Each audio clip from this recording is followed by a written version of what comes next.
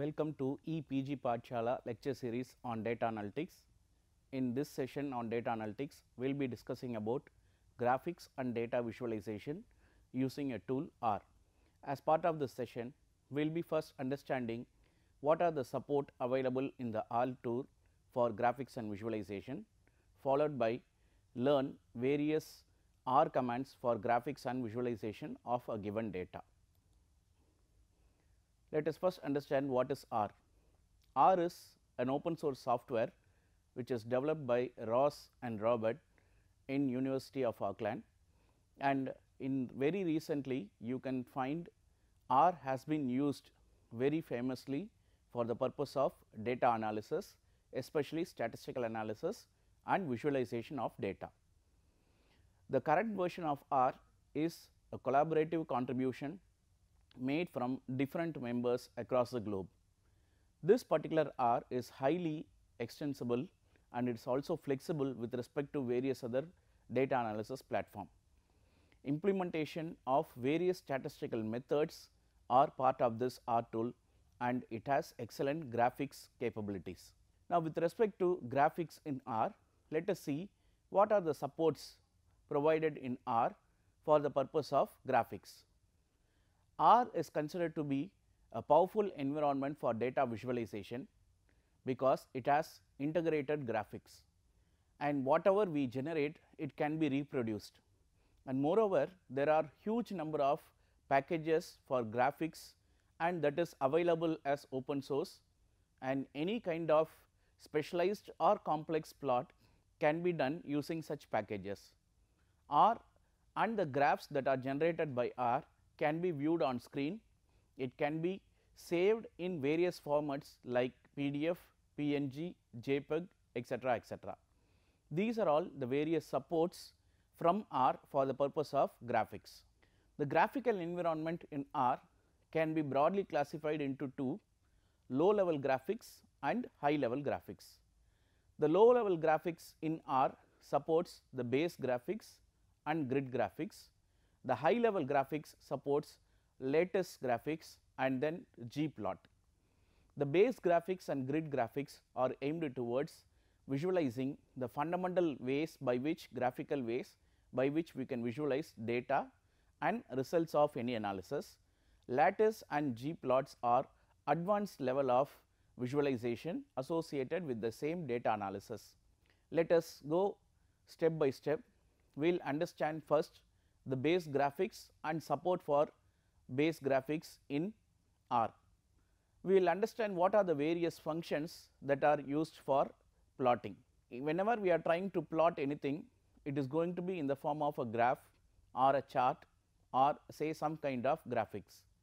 So, the, ba the basical functions available in R for the purpose of doing such plots are plot which is used for plotting say x y parameters on a two dimensional that is Cartesian coordinate environment. We have a function named bar plot for plotting bar plots that highlights distribution of data.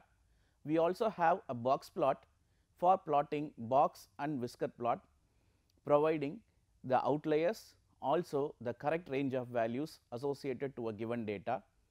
Suppose we want to display the frequency of various elements available in a given data, then we may go for histogram. Histograms can be plotted using the function called hist function. We can plot pie charts using the pie function, dot plots using dot chart function. We also have other functions like image, heat map, contour and perspective functions for the purpose of generating image like plots. So, heat maps sometimes may be useful for understanding say the distribution of a given data in a specific coordinate environment. Suppose you are trying to work with respect to fuzzy variables and visualization of fuzzy variables, heat maps or contours may be very effective for the purpose of visualizing fuzzy variables. We have plots and functions for distribution and comparison of various plots like q norm, q line and then the q plot functions. And finally, we have support for display of multivariate data using pairs, pair function and then coplot function. These are the fundamental plot functions that are available in R for the purpose of displaying univariate as well as bivariate variable and data relation with respect to these variables. Now, how are we going to provide input to the R tool? The input to the R tool is going to be in the form of matrix or data frames. It can be vector or it can be even named vector. Now, let us start one by one we will understand how these functions work. We will start with the basic plot. The basic plot is going to provide a scatter plot. First when we want to randomly generate say a scatter plot, we need the seed function which is used for generating random numbers and then you will have to call the plot function. So, the plot function highlighted here which is a standard command plotting command in R. This standard plotting command in R takes two arguments the x axis variable and the y axis variable and then randomly it generates numbers and then these numbers are going to be displayed in a scatter plot. How many number of random numbers will be generated? If it is going to be a scatter plot, the input to this scatter plot can be provided in the form of a matrix Therefore, we make use of a method called matrix and here the runif, runif function with an argument 30 indicates 30 unique random variable random numbers are going to be generated. So, once you type the seed function followed by the matrix function and then when you call the plot function you are going to get say a random scatter plot as appears in this slide. So, you will find the y 1 variable along the x axis, the y 2 variable along the y axis and then the range of variable is going to be 1 to 0 because random function is going to generate variables in the range of 0 to 1 and there are 30 values unique values going to be generated and it is displayed inside this scatter plot. Suppose you have various combinations of variables and you want to display all these combinations then you can make use of a special method called pairs method. The pairs method when supplied with say the corresponding variable with which you are going to plot the various combinations of scatter plot then you can call the pairs method with the argument y. Assume y is the variable with which you are going to plot it. So, once you call this method you will find combinations of variables so, here there are 3 variables and combination of these 3 variables which is represented as a 3 by 3 matrix is highlighted here. Similar to y in the previous statement we have randomly generating few numbers for y saving that into a matrix and whenever you call the pairs function for the y the same random numbers that are generated will be used for plotting this pairwise variables. So, instead of visualizing a pair of variable instead we can go for multiple combination of such pairs of variables and then visualize in one single screen that is the main use of pairs function. Now, suppose if you want to generate labels in the scatter plot then how to add labels? Labels are normally text values. So, what is that you need to do is you need to call the plot function followed by the text function. This text function will generate various text labels and then attach those labels to the random points which are generated. So, if you execute these two commands then you may end up with a scatter plot like this. Now, if you take a look at this scatter plot a close look at this scatter plot you can find various values that is various coordinates and the coordinates are appended with say a notation a label a text label like A, B, C, J, H, G and the other notations like E etc. So, what does it mean? Given a scatter plot if you want to assign a text label to this scatter plot the coordinates in the scatter plot you can make use of the function called text function and then draw the same scatter plot with labels. We can also understand what are the other important plotting parameters. An important plotting parameter like MAR which is an important argument for plotting. What does this MAR indicates? The MAR is actually the margin size. So, when you pass this MAR the margin argument it actually sets the sides of the plotting region. So, here in this scenario the bottom, the left, the top and right is assigned with say values 8, 8, 8 and 8 respectively clearly indicating the plotting area with size 8 by 8. Secondly, we make use of another plotting parameter called COL which is going to mention or provide the color of the symbols.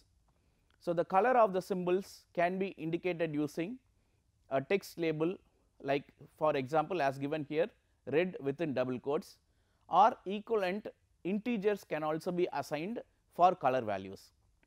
Then we have PCH which indicates the type of the symbol and the example points. We have LWD parameter which indicates the size of the symbols and then the CEX parameter that sets the font size. These are all various other plotting parameters with which you can make the plot look more beautiful. Suppose you have a scatter plot and then you want to draw or add a regression line to the given scatter plot. It can be made possible by means of making use of the regression model. For fitting a regression model, we have a support in R tool and the function is called LM linear regression model LM. If the LM method is called a linear model is fit and then with the help of this linear model a straight line that fits the given data points can be drawn using AB line, AB line method and finally, if you want to get a summary of this linear regression model you can call the function called summary. So, the summary will generate any summary statistics about the given regression model and the straight line which has been fit. For example, if you run these commands like the LM command, AB line command and summary command, first a chart will be displayed and in that chart how the linear model will be fit is that is decided based on the LM method. So, the LM method is as mentioned earlier is used for fitting the linear model. It is basically used for carrying out regression analysis and this regression is carried out on a single variable or even a group of variables thereby it becomes analysis of covariance. The AB line method as mentioned earlier is used for adding one or more straight lines that may be part of the current plot and finally the summary is going to generate the summary statistics of the resulting plot which has been generated based on the LM method that is the linear model which is adapted as part of the LM method. So, the output of this lines of code will look like this. Here you can find the scatter plot and a line that is drawn. This line is drawn using the AB line method. The linear regression model for this particular plot is defined based on the LM method and finally, when you call the summary method these are the various summary statistics that is displayed. So, the summary includes what is the minimum, what is the median, what is the maximum range of values and the first quartile and then the third quartile values. So, the minimum and maximum here indicates the complete minimum and maximum. The first and third quartile indicates the correct set of values and the median the whisker that is actually part of the box is the median. Apart from this various errors and the estimated value of these errors are also displayed here. F statistics and then the p value are also going to be displayed when you call the summary method.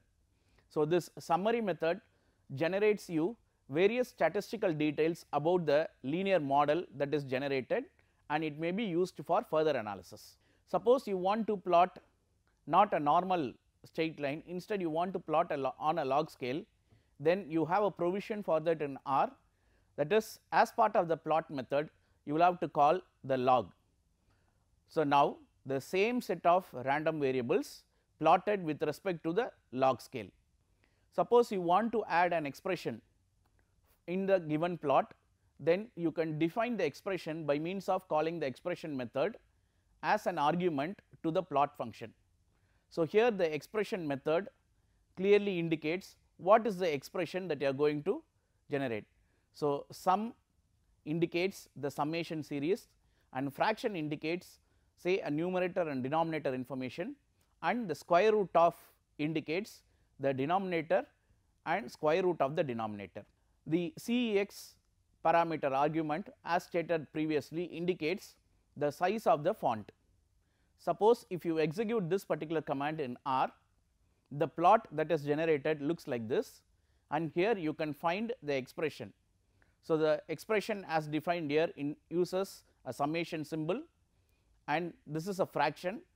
The numerator and denominator of the fraction are mentioned as part of the fraction function. So, numerator is 1, denominator is square root of x square multiplied by pi.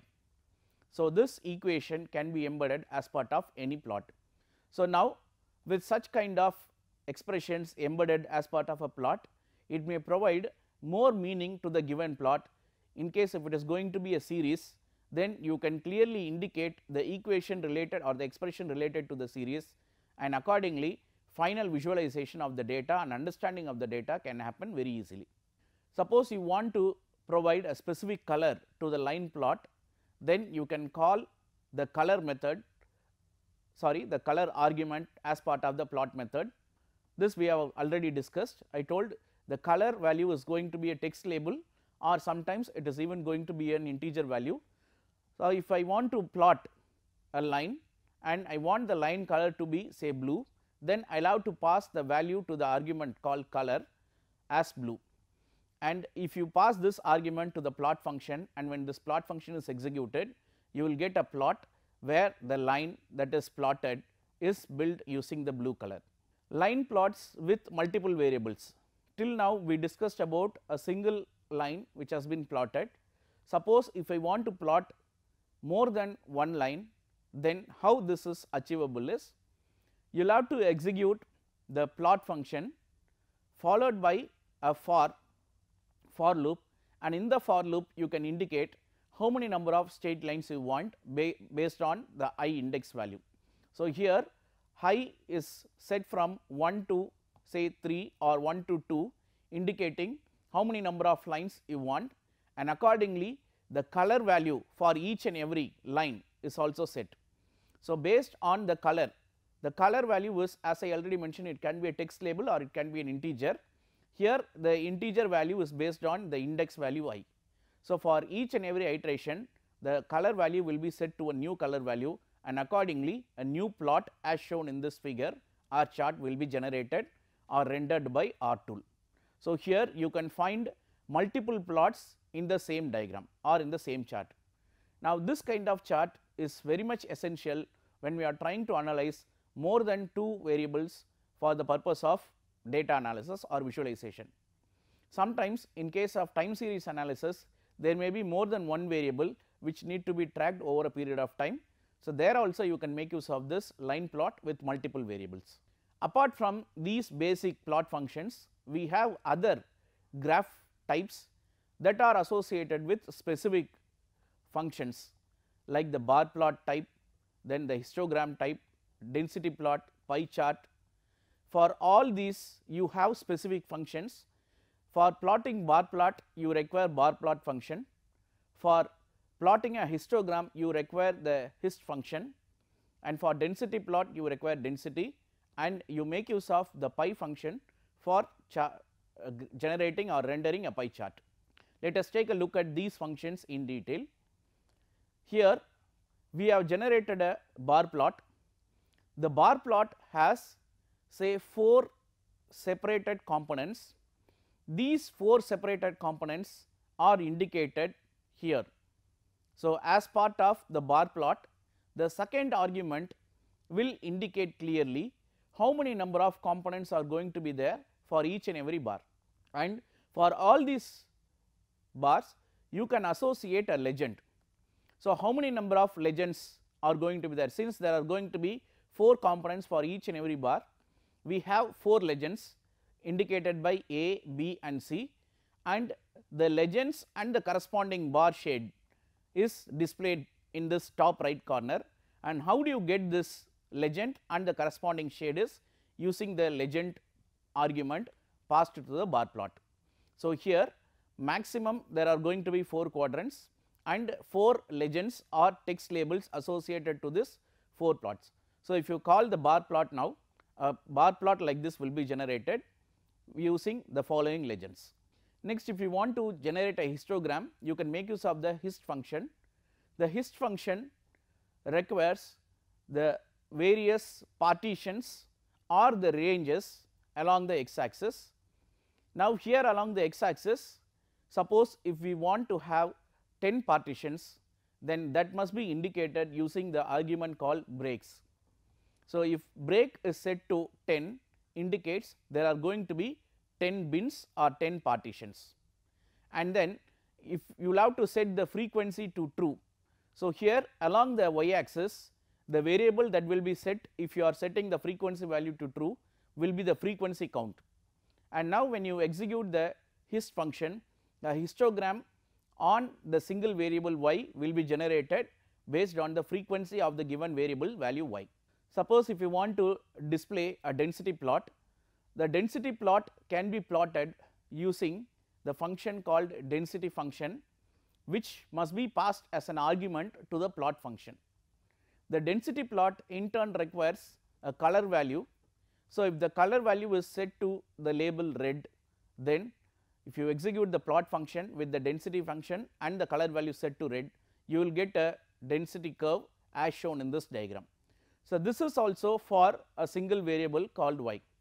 Similarly, you can generate for multiple variables by calling a for method or a for loop and there you can make use of an index and set different colors for different lines. We can also generate a pie chart using the method called pie method. The pie chart is generated for a variable. So, the first argument that is going to be passed for the pie function is the variable for which you are going to draw the pie chart. So, here it is the y variable y 1 variable. Then how many columns are going to be there? What are the colors associated to this columns? The color is set using the rainbow method. The rainbow method makes use of the VIBGYOR color combinations and in what direction these arcs are defined. These arcs are defined using clockwise parameter set to true which means the colors the assignment of the colors and the arcs are going to be defined in a clockwise way. Now for each and every sector in this pie chart I can assign a label by means of using the legend argument passed to the pie method. So I can define a separate legend method providing where it need to be displayed so, when I mention the position as top right the legend associated to various sectors in this pie chart will be displayed on the top right corner and then the font size is defined by means of the CEX parameter. Suppose if I have multiple scatter plots or multiple plots and I want to visualize all these plots together means then I can make use of a function with which I can arrange multiple plots on a single page the function or the method name is PAR. This particular method called PAR method must be supplied with the number of rows and the number of columns for arrangement of the plots. See here in this example we are arranging the plots there are totally 6 plots we are arranging the plots in a grid of size 2 by 3. So, this size must be passed as an argument to the par function. So, the first argument which is passed for the par function is the number of rows and number of columns and we will have to specify in a for loop and inside the for loop we will have to indicate the plot function that is we will have to call the plot function. How many plots we are going to do is 6 plots therefore, the for loop will be triggered 6 number of times by setting the index as 1 to 6 and for each and every iteration a plot function is going to be called and this plot function is going to have values ranging from 1 to 10 and when you take a look at this diagram you can find all these plots are having a value ranging from 1 to 10 along the x as well as the y axis. So, now when you execute this particular function all the 6 plots having values ranging from 1 to 10 will be generated and then arranged as per the given layout. Suppose you want to arrange the same number of plots by means of another method apart from the par method, we also have a method called layout function. This layout function actually divides the plotting device into variable number of rows and columns and accordingly it will set the particular plot by adjusting to the row height and width. So, auto adjust of the plots with respect to the given region will be done using the layout function. So, here you make use of a layout method and for this layout method you will have to tell how many number of columns or plots you are going to generate. The NF over here is a variable which is assigned to this layout method. So, this layout method will pass a value indicating how many number of bar plots are going to be there and then when you execute this code say a bar plot like this will be generated and here you can find all the bars are not connected with each other that is they are not touching each other instead they are separated by means of a small distance. So, this will help you in clearly understanding the frequency or say distribution of various variables values without touching each other. So, this provides a clear visualization when compared with the regular histogram method. Suppose you have generated various graphs or plots and then you want to save these graphs or plots, then how you can achieve this is you can make use of methods like PDF method or say SVG method which will help you in saving the respective outputs the graphics outputs either in a PDF format or in say an image format a vector graphics format. SVG is scalable vector graphics format. So, for this how you should type and execute the command is first you should tell in what particular file you want to save the output. So, you if you want to save it in the form of PDF then call the method called PDF method and the argument to the PDF method is going to be the file name. So, here in this scenario we have a file named test.pdf in case if test.pdf file is not there this test.pdf file will be created for the purpose of saving the output and then when you call the plot function then the output of this plot function will be saved into the test.pdf file.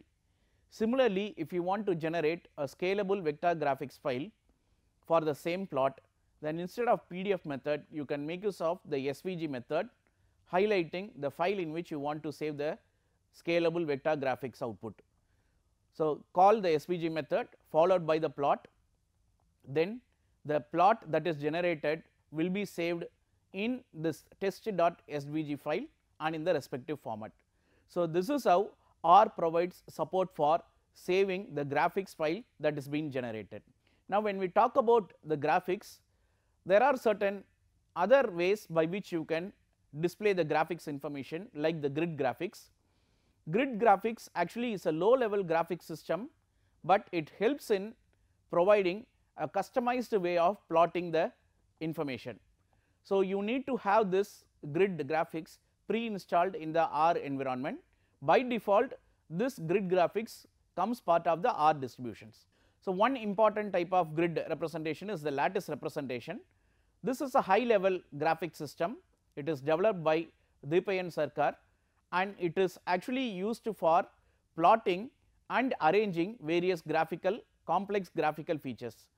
The syntax for lattice is part and part of R based graphics. The function for calling the lattice is you will have to first invoke the package called lattice package. So, you call the method library passed with the argument called lattice package argument and then when you plot this when you call this xy plot function then what happens is the plot that is done using this xy plot when triggered using the plot method will provide a grid wise or a lattice format of displaying the output. So, here there are 4 variables and you have 4 combinations of these variables and the corresponding scatter plot for these combinations. Now, each and every row contains lattice of cuboids. So, each and every component in a row is called as a cuboid. So, how you can visualize the given graph is the graph can be visualized as a lattice of cuboids that is why it is called as a lattice function. Same the same lattice plot can be associated with the density plot by means of calling the density plot function along with the lattice method.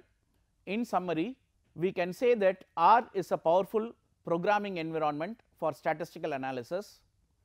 Apart from powerful statistical analysis support, it also provides excellent graphics and various capabilities for displaying the given data in a visualized format and it is this is which is very essential for decision making in data analysis environment. Thank you.